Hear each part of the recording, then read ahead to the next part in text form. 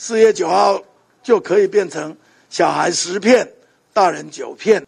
大家谨慎的使用，避免浪费，也是一个可以接受的数字。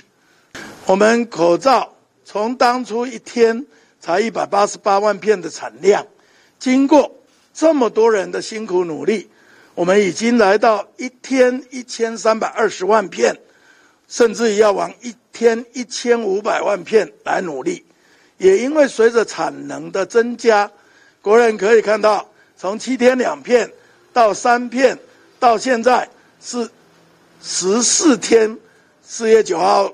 就可以变成小孩十片，大人九片。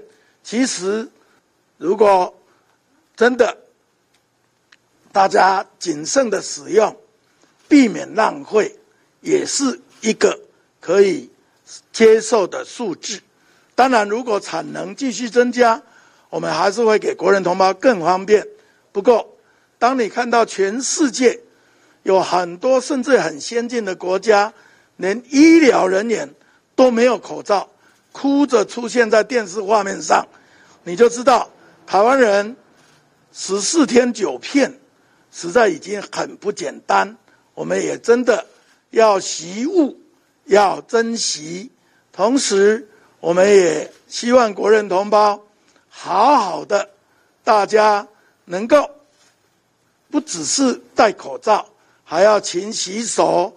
还要减少不必要的群聚，只有这样，你才能够避免被感染，保护了自己，也减少社会的负担。